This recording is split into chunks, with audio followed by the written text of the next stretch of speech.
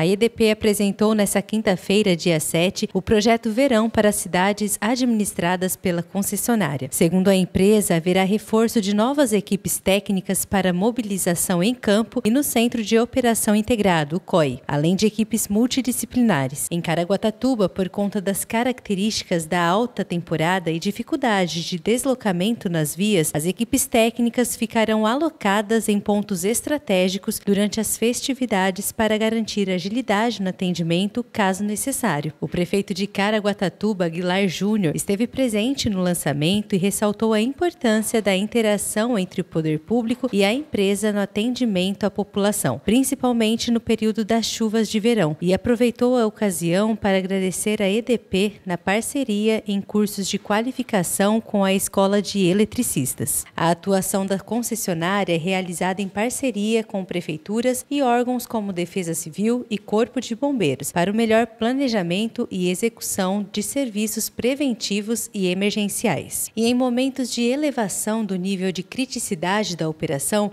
a companhia atua com um plano de priorização no atendimento a ocorrências que envolvam hospitais, postos de saúde, unidades de segurança pública e serviços essenciais, como escolas, creches, asilos e casos que possam oferecer risco à vida, além dos clientes cadastrados como dependentes de equipamento elétrico para sobrevivência.